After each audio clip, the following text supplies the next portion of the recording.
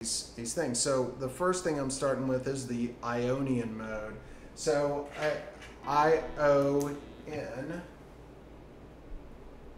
I A N Ionian. So and I'll put that you can see it on the video, but um, Ionian just means the major scale. I'm playing in the major key. So if Okay. somebody says, um, like I was looking at a sampler the other day, and it was like you could put it in these different modes and change the key of all the the uh, the buttons. And so it's like, do you want to be in G Ionian or do you want to be in you know and and, I, and people that don't know, they're like, well, that sounds really heady. I have no idea. Well, all it's saying is G major. So G Ionian. And this is so as you jot things down, it's one thing to jot down Ionian, okay? Just because that's what you're going to hear from time to time, um, and it's just uh, a part of music, okay? Let's see. Let me get that out of the way. Now, actually, I'm going to get a new piece of paper because that has D major on it. We do not need that. Okay, so we have the Ionian mode, and we have G. We have that first position. Okay, and that equals the major key. Okay, so so for us, we're still in the key of G. G, um, and then A, B, C, D, E, F.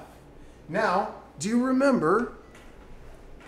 As I bring this a little bit closer, do you Yep. remember um, the uh, when you when you have these? You have one, two, three, four, five, six, seven. So one, two, three, four, five, six, seven. So just a little bit of, re- of review. These are this many times. Okay. Okay. Yes, okay. Good. good. So you've Yeah. got it. So uh, if these are the notes that are in the key of G, which one of these is the sharp? Do you remember? The last one, seven. Okay. F sharp. Excellent. Excellent. Now, if these are, if we're referring to chords and we're giving Right. them, you know, harmony, then which G. ones are major and minor? So the second, third, and sixth are minors. Yes. Okay. Yeah. Good. Okay. There you go. Pretty simple. You've got it. Now, now let's let's go. Um, uh, we did the first degree of the key of G, which was played on the third fret, third, Right. fifth, and seventh.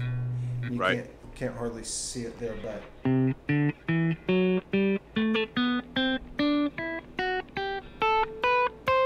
were you, were you able to go over that one much? I haven't. I've stayed with the first or the seventh The pattern. seventh. Good, good, good. Uh, okay, good. Uh, but um, nice. Let's. I'm re- I, I figured we probably were getting in there, so this is perfect. Okay, okay, good. So let so the seventh pattern, and this is on the video, you saying that, and so that we can make note of that. But we've got we got the seven, one, two, three, four,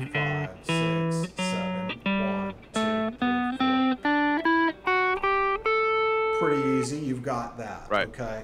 And Right. then, so for the for now, we're we're coming back around basically to this first pattern.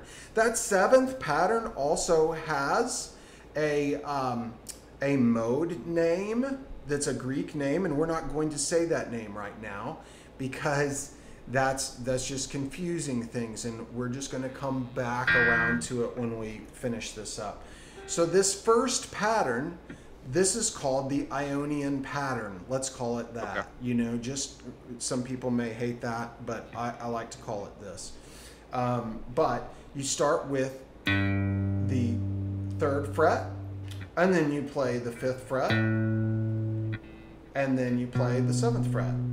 And then you do the same thing on the next string. Now, I'll tell you why this is important in, in just a second. This is really, really cool. And then we go over to the two middle strings, the D and G, and they're played the same. They're played fourth fret, fifth fret, and seventh. And then the same thing. Four, five, seven. And then we're going to go over to the fifth fret and the seventh fret and the eighth fret of the B string. So it goes five, seven. And then we're going to do the same thing on the next string. Five, seven, eight. Okay? So Right. so that's pretty easy that because That actually is simpler in some, it, it some is. ways. There's more You're you're totally right because it has both two strings are the same, so every string has a buddy that that repeats.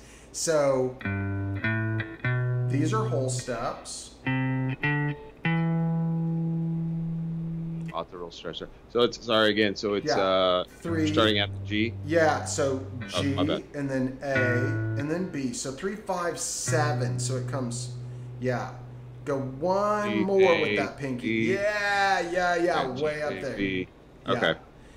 And then same thing. And then, Then- C, D, E. And then That's right. And then come up to the fifth fret. Oh. Five, seven, eight. Gap. And then five, seven, eight. that's got it. Okay. So yeah, so so a lot of a lot of stretching there, but again, we're calling that the Ionian the Ionian pattern. Okay? Just for sake of what works in my brain. Okay? And I think what works in a lot of people's brains when they when they look at this pattern, the Ionian pattern. So this week that's what you'll be playing. Now, within that pattern there's a a lot of really cool stuff.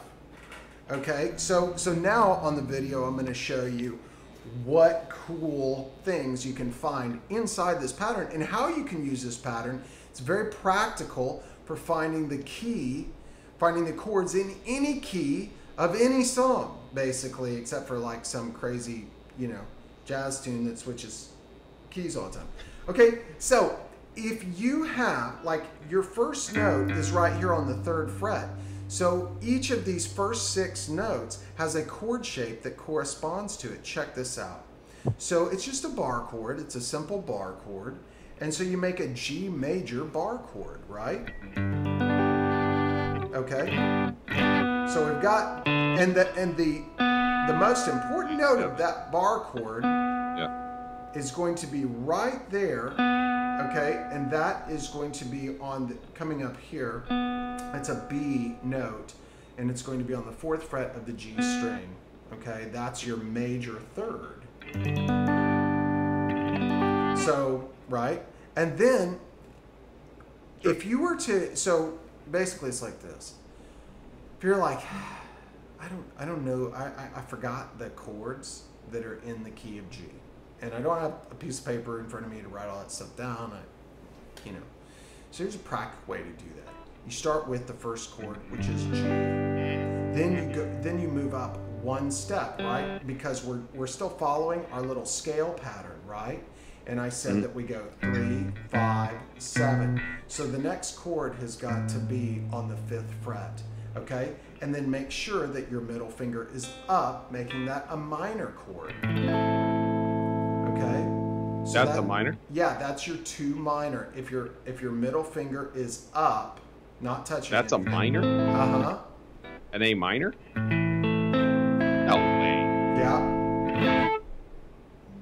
So G, A minor. Oh wow. that's right.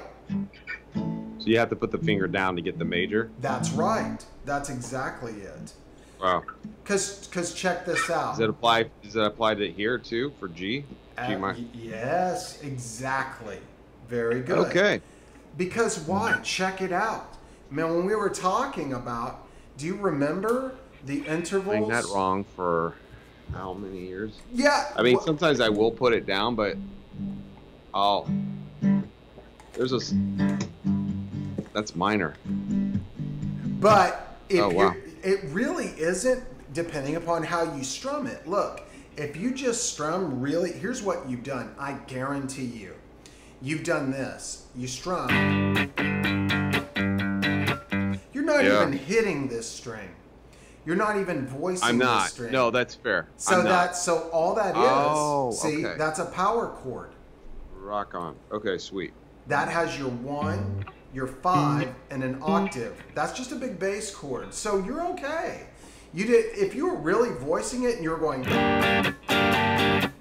would have been like, holy crap, that sounds terrible. You know? and, and and you would have stopped immediately. But the but the thing that you've done is you're like, oh, okay, uh, because you're a skilled player and you go, okay, well, I'm just not gonna I might kind of mute that and you give it whatever flavor you want. So it's just like this. Wow. What chord? Cool. What chord is this? If you play it down here, E E. Now what chord is this? E minor. E minor. So it's the same idea, right? Wow. Right? You're just moving E major and E minor up and down the Yeah. fretboard. Isn't that cool? So so you don't have to like that's it. That's it. Now you can really voice your chords and give them more of a um, sophisticated voicing and really Yeah. know exactly where you are and all that. Okay, so enough about that. So your first chord has the middle finger down. Now, let me let me tell you this really quick, and I just have to explain because a lot of people go, okay, I have if I'm playing an E Yeah. and I raise my middle finger up, then that that then the note is just disappeared. No, it didn't disappear. It's flatted. It's being fretted by the nut of the guitar. The nut, So right, right. instead of So remember how I said that a chord is made up of a 1, a 3 and a 5? So Right. what you're doing if if we're talking about like a um, like this is this is obviously the major third of an E when you're playing that that note with your finger, right? There's your major third. There, that Right. makes it minor and scary because you dropped it down. So da da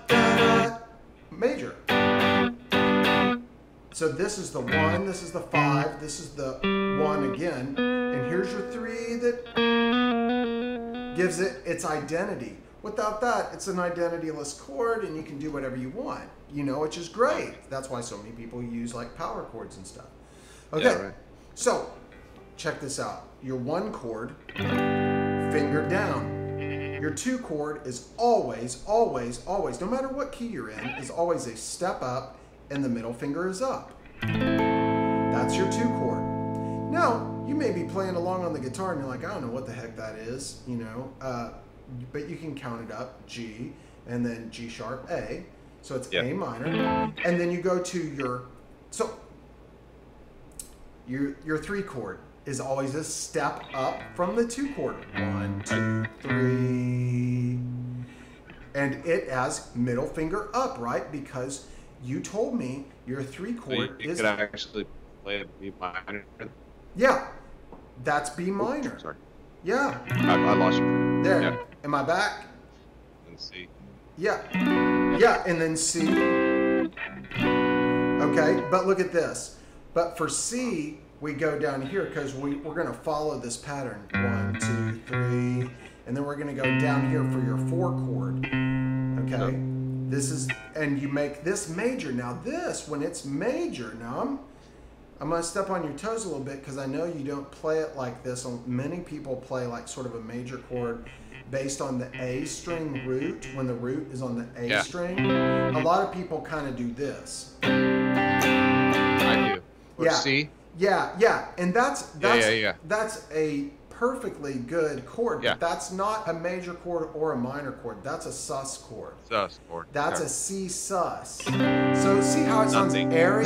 yeah, it sounds Yeah. airy, which is Yeah. cool.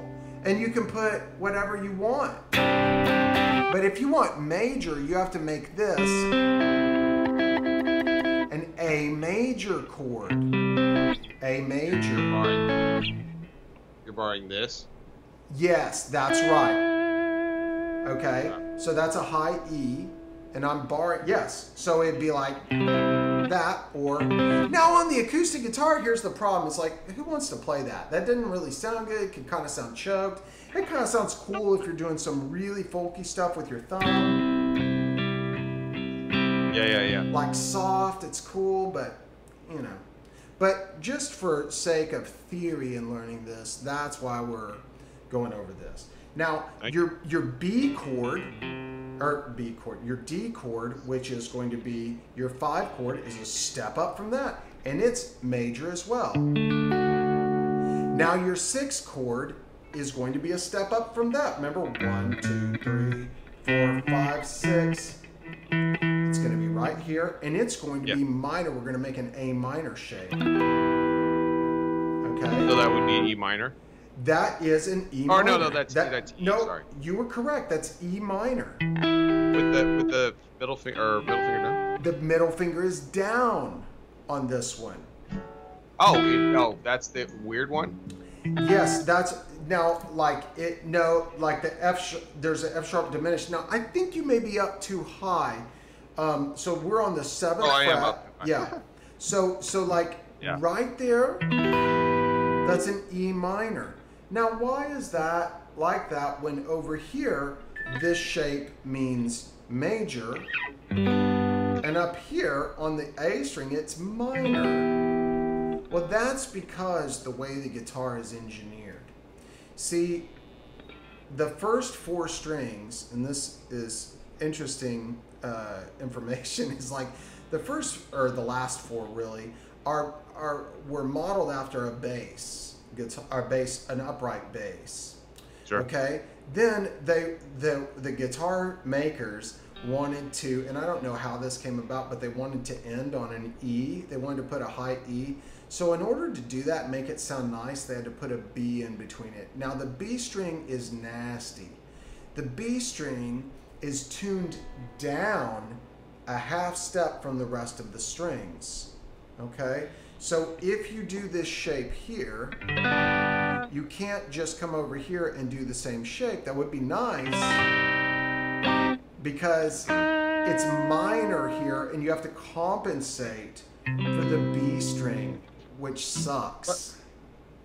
Okay, so if I'm gonna play major, just to recap, Yes, G, I'd have to play like this. If I want to play minor, yes, I'd have to do lift up Yes. and string it all.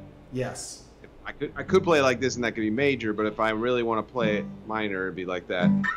And then for E, oh E, sorry, yes, E, I would have to do this for minor. Yes. I couldn't just simply do that. right, right. Okay. You could now, and the reason why you you you can if you you know have you done this kind of E where you where you don't bar it, you just play it up here and play all the strings. Yes. Okay. Yes. Well, that's called that's a huge E power chord. That's just E and B. Right.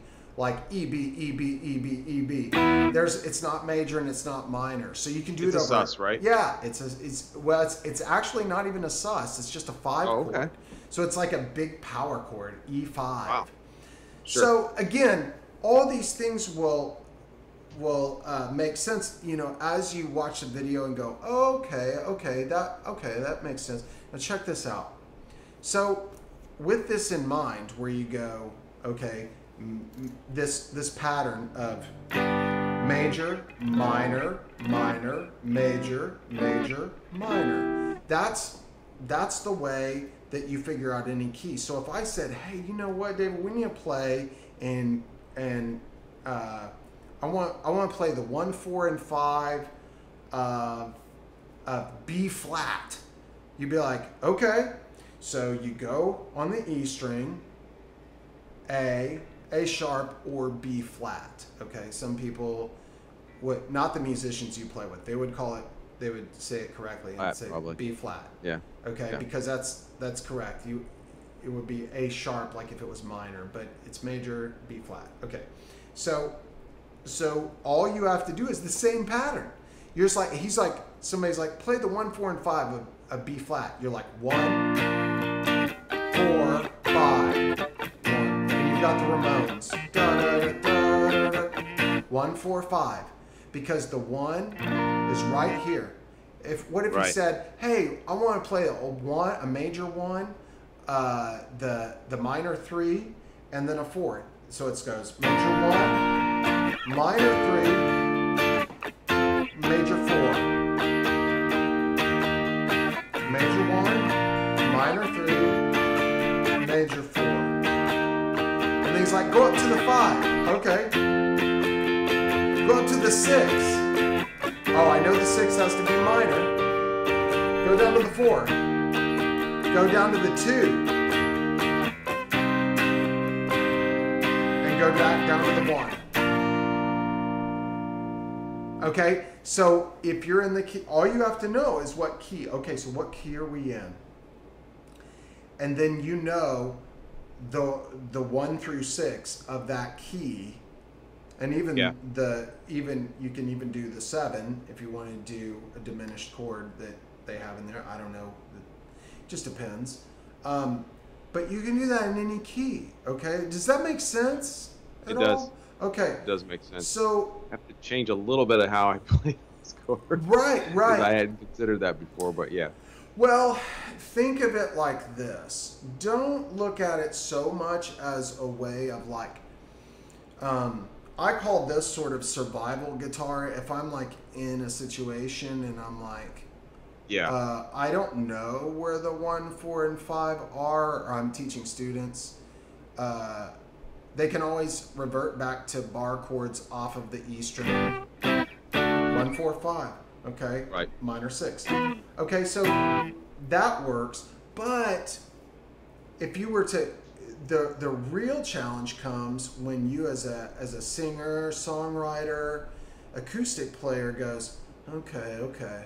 Well, how do I voice those now on the acoustic guitar? Because I'm not going to sit there and just play those same six bar chords like that right. all night long. That's ridiculous. It's not going to sound good. You know, so where can I? Because I deal with this all the time with church. Because people go, oh, worship's boring. I'm like, well, that's just because you don't know how to play guitar. If you know how to play guitar, then you can think of something that's very interesting in any situation.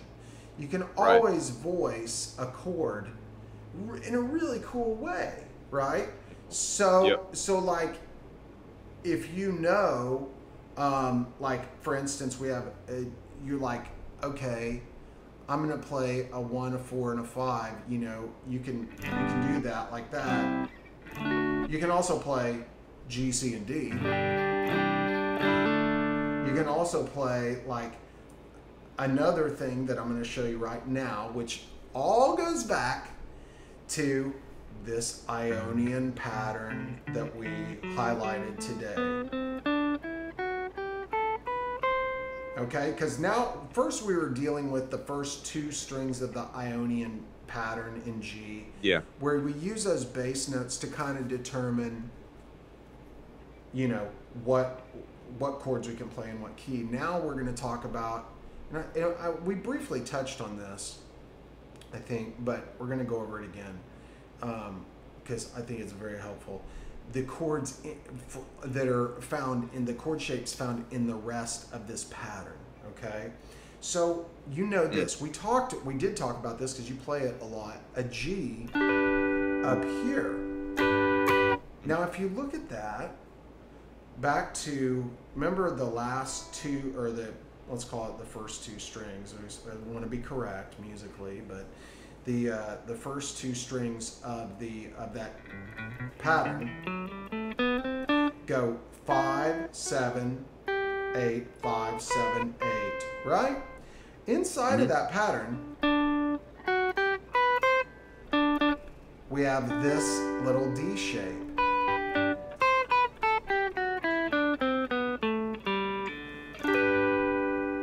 So th- now you can kind of see. I want you to visualize Yeah. and connect chords with those notes. Now, this is going to help with creating arpeggios and really cool voicings when you can when you can kind of like visualize the chord shapes inside the triads inside these patterns. Now you remember this and then you remember where C is. C is right here, D is right here. Okay? Now they're all really just parts of these two bar chords. Look at that. Right.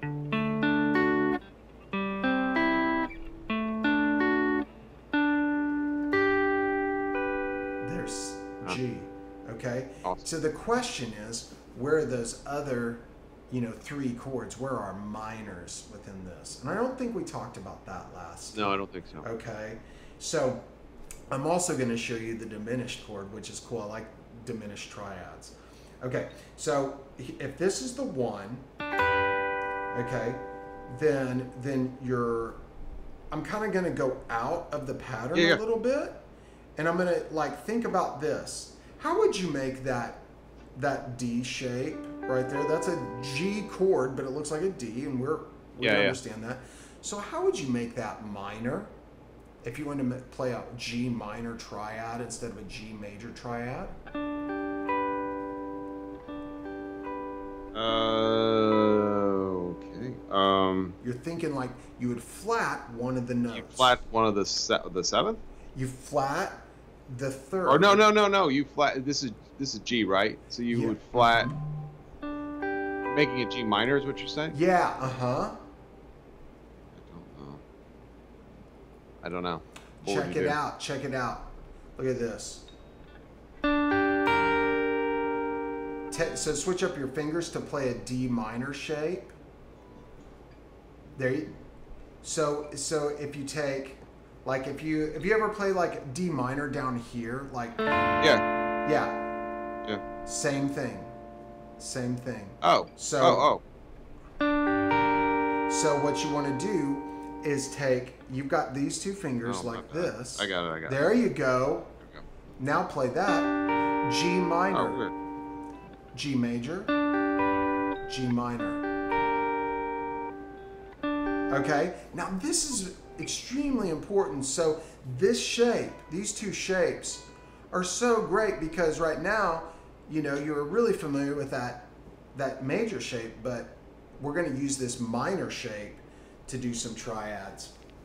Okay, does that make you sense? you asked Yeah. yeah. you did but uh what is it? A B C sorry no G A G A B so I'm playing a G which would be G chord would be G uh hold on sorry um G B uh D right Yeah, that's right.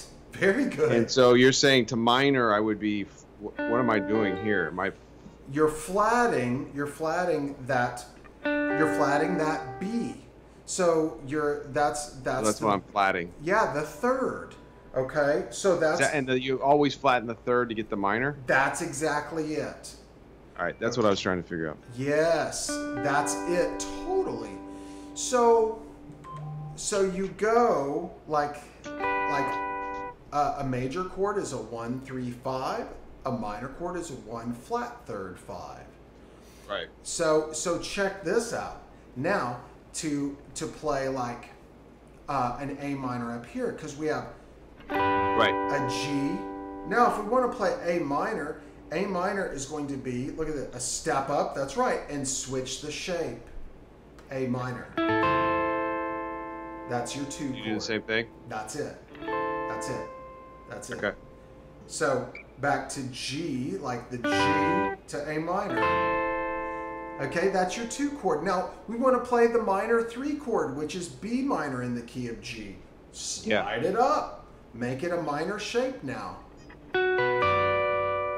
Now check this out. This is cool. Okay, so the root note when you're doing a, this shape, a D shape or a D minor shape, the root note Yeah, is yeah. at the tip of the triangle. The tip of the Okay. triangle. See that triangle? Yeah, yeah, yeah, yeah, yeah. It's always right there. Now, what happens at the 12th fret? Every on every string, it starts over. Right? So this is high E. This is high A. This is high D. Okay, this is high B. That's Right. easy.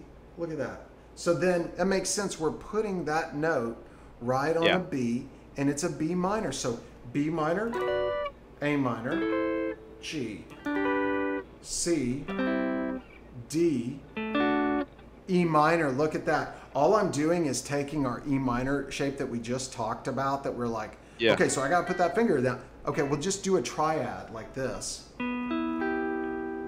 Don't play the bass note. And there you go. That's uh. That's- oh, that's E minor. Yeah, that's E minor. Okay? Yeah. So E minor. And and since here's here's where here's where you're going to excel and and where all of your guitar playing skill is going to help you is like you're good at muting. So if you're good at muting, then you can play a lot of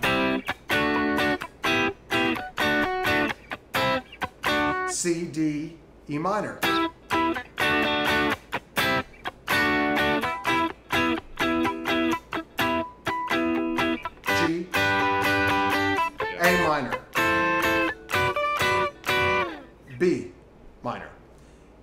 You're not playing bar chords. Now you're just playing these really cool high chords. And you can do that on the acoustic. You can do it on the electric.